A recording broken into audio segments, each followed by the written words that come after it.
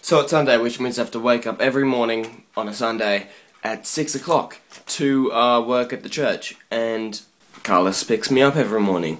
So we usually just get up at 6 o'clock, we get ready, he picks me up, we go to the church, and everything's fine.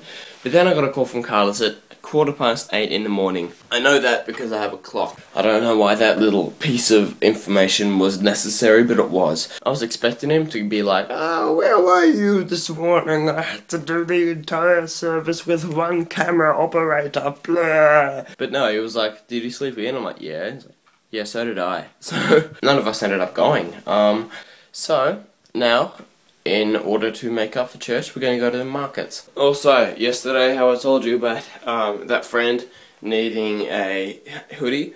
Well, she needs this one. So, I don't want to be hoodieless. So I've got another one underneath. That's beautiful. Good evening, myself and It is Sunday, March the 25th of March, 2012. That's here it is. What are you doing?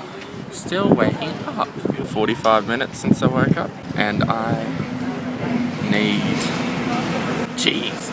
So what just happened? Reenactment, I'm like, I'm gonna sit down. So I kick my toe there, fall over and nearly knock Jack off his ball, crush my balls between my legs, and now, after the pain of the foot has finally died, I can feel that really painful ball experience where you feel like you need to poo. So this is one of the sticks that I play drums with. Well, was. It kind of just split clean in half. Uh, I've never had that happen to me before. I've had little bits that just kind of fly off, but never had it so perfectly. You see that? Right down the middle. I've never had that happen. It's quite strange, and to be completely honest, I find it rather amusing. How about that? Now I need to buy some new sticks. Shit. Okay guys, I'm gonna go now. I'm sorry I didn't get much footage today. I'll try and get you more footage tomorrow. You like my hair? I didn't even do my hair today. okay, I'm gonna go now.